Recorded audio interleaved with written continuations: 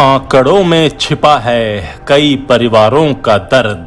मदद का कर रहे इंतज़ार। महामारी में मृत कोरोना वॉरियर्स के आश्रितों को मदद की दरकार। हेमंत सरकार की सामाजिक आर्थिक सर्वेक्षण की घोषणा से बंधी आस। नमस्कार, आज़ाद सिपाही विशेष में आपका स्वागत है। मैं हूँ राकेश सिंह। कोरोना की दूसरी लहर अब ढलान पर है। झारखंड में हर दिन नए मरीज़ मिलने की संख्या घट रही है। सक्रिय मामले कम हुए हैं, कोरोना से मौतें कम हो रही हैं। इन तमाम बातों को स्थापित करने के लिए आंकड़ों का सहारा लिया जाता है। कोरोना की स्थिति को बताने के लिए सरकार, मीडिया और आम लोग इसी तरह के आंकड़ों का ज़िक्र कर अपनी बात की पुष्टि करते हैं। आंकड़ों के घटते क्रम को देखकर भले ही संतुष्टि मिलती है, लेकिन कई ऐसे परिवार हैं जिनके लिए ये महज एक आंकड़ा नहीं है। इस आंकड़े में उनका दर्द छिपा है।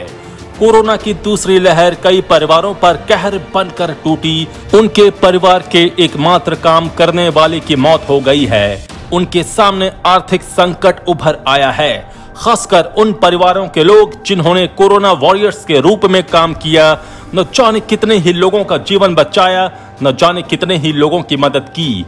अंत में वे खुद ही कोरोना से लड़ते लड़ते अपनों को छोड़कर दुनिया को अलविदा कह गए। आज उन परिवारों को सरकार और समाज की मदद की ज़रूरत है।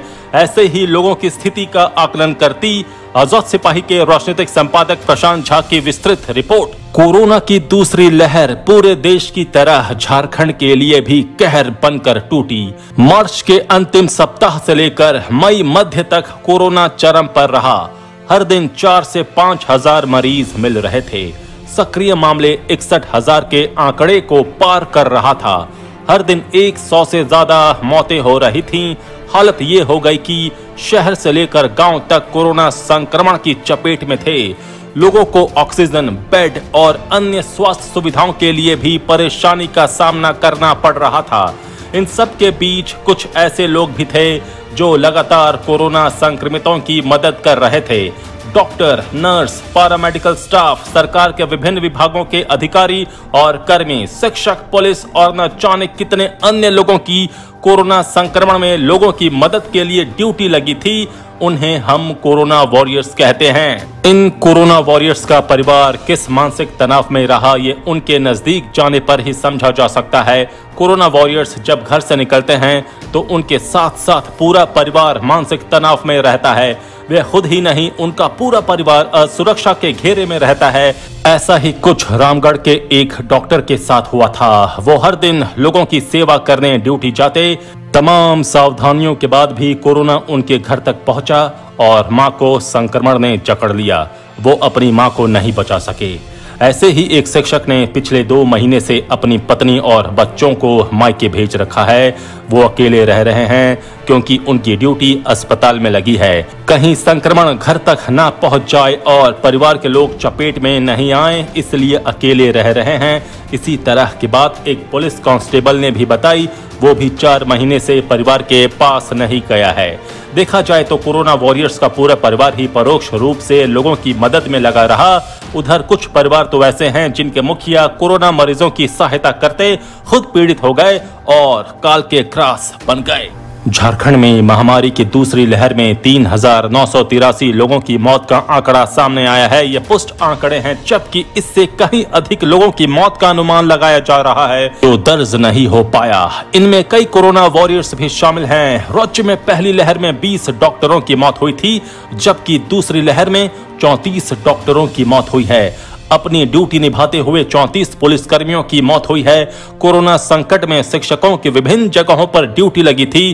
राज्य में दो सौ उनचास शिक्षकों की मौत हुई है। वहीं राज्य प्रशासनिक सेवा और अन्य सेवा के एक दर्जन अधिकारियों और कर्मियों की मौत हुई। इसके अलावा नर्स पैरामेडिकल स्टाफ समेत कई लोग ऐसे हैं जो कोरोना योद्धा के रूप में लोगों की मदद के लिए आगे आए और खुद कोरोना के क्रॉस बन गए।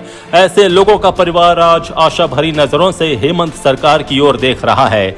उन्हें आर्थिक मदद और सामाजिक संबलता की ज़रूरत है। शिक्षक संघ, कर्मचारी संघ, आईएमए समेत अन्य संगठनों ने अपने अपने क्षेत्र के लोगों के लिए सरकार से मदद की अपील की है। मुख्यमंत्री, स्वास्थ्य मंत्री और अन्य संबंधित अधिकारियों को पत्र लिखा है।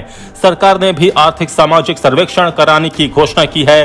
सभी जिलों को इस बाबत आदेश दिया गया है।